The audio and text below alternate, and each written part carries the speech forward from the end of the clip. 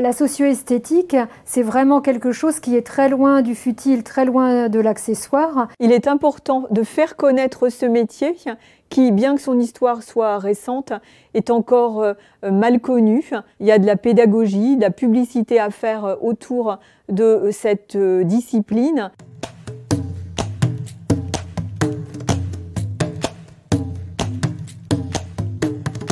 La socio-esthétique, en, deux mots, c'est euh, une pratique esthétique adaptée à un public particulier, dans un but particulier.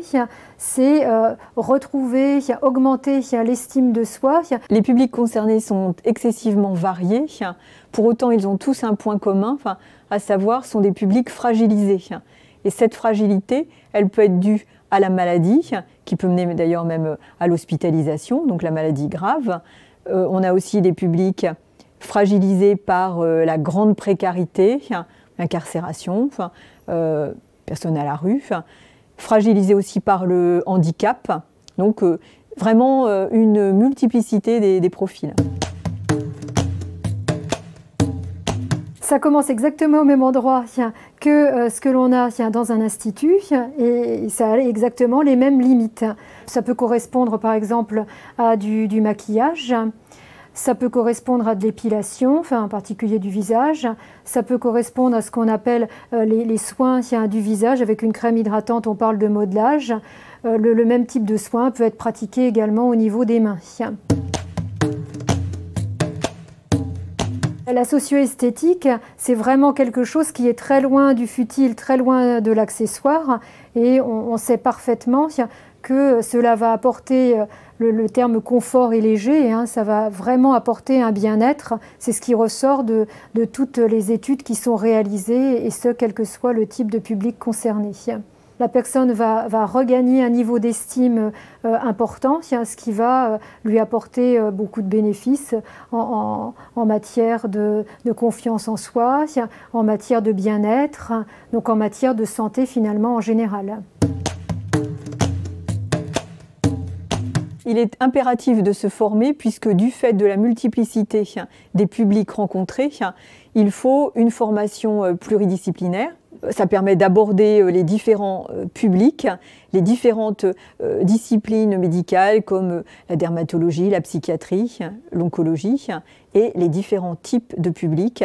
Nous faisons intervenir des personnes œuvrant en milieu carcéral, dans des organismes non confessionnels qui œuvrent auprès des plus démunis.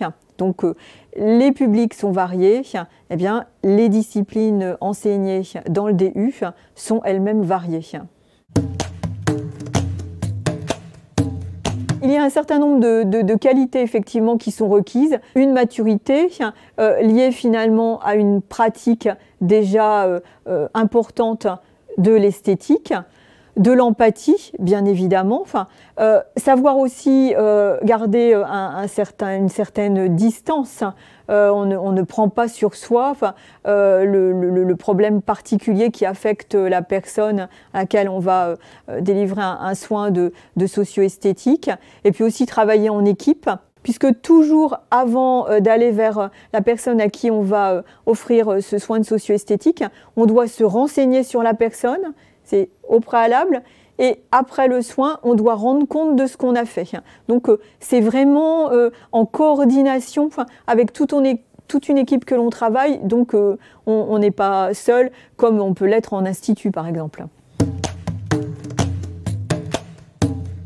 L'originalité du DU de Nantes est liée au fait que l'enseignement est adossé à de la recherche. La recherche en socio-esthétique est excessivement euh, rare, elle n'est pas euh, très répandue. Si euh, on arrive ce que l'on souhaite et on a déjà des, des résultats qui sont très prometteurs, si on arrive à avoir des résultats qui nous permettent d'asseoir la discipline, cette discipline sera définitivement incluse dans les soins de support.